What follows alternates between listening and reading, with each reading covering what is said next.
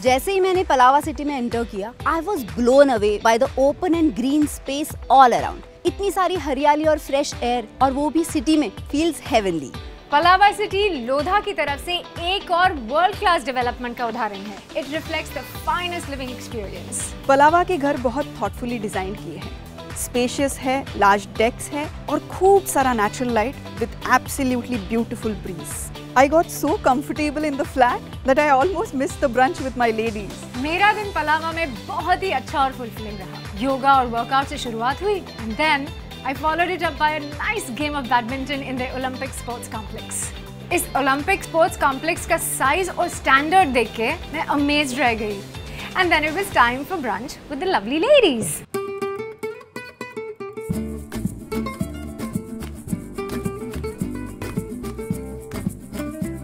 The Centrum Clubhouse is just like a resort and the food was absolutely yummy. This is definitely a five-star hospitality.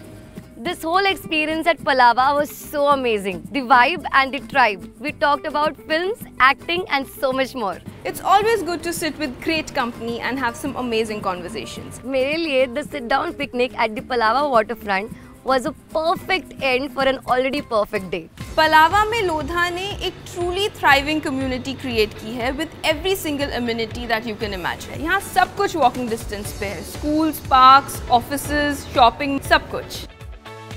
ऐसे developments unmatched services और living experiences provide करके Lodha is truly transforming lives